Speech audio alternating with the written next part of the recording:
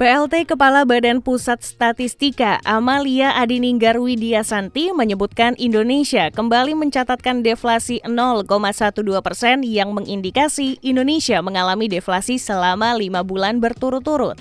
Indeks harga konsumen turun dari level 106,06 menjadi 105,93 pada September 2024.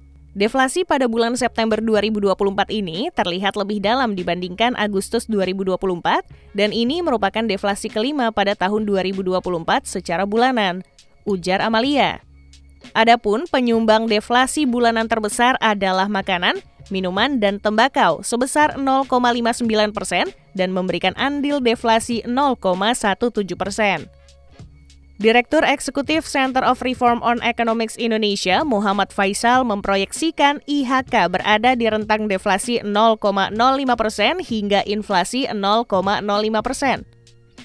Menurutnya, melemahnya daya beli masyarakat menjadi penyebab utama tren deflasi ini potensi deflasi masih ada. Ini indikasi sampai dengan saat ini kecenderungan konsumsi lemah secara keseluruhan. Jadi faktor demand yang paling mempengaruhi ini tidak lepas dari menurunnya sisi income. Tuturnya, Faisal melihat masyarakat cenderung melakukan selektif belanja dengan memprioritaskan makanan ketimbang kebutuhan sekunder maupun tersier. Perilaku konsumen tersebut mempengaruhi lemahnya peningkatan penjualan barang-barang secara umum. Di satu sisi, penurunan harga barang ini menguntungkan konsumen. Namun, dalam konteks ekonomi, deflasi ini menyebabkan penurunan permintaan barang yang mengindikasi melemahnya aktivitas ekonomi dan daya beli masyarakat. Perlambatan pertumbuhan ekonomi akibat deflasi ini juga dapat menurunkan investasi dan meningkatkan pengangguran. Di sisi lain, Menko Perekonomian Erlangga Hartarto Pertumbuhan perekonomian Indonesia separuhnya bergantung pada konsumsi dan daya beli masyarakat.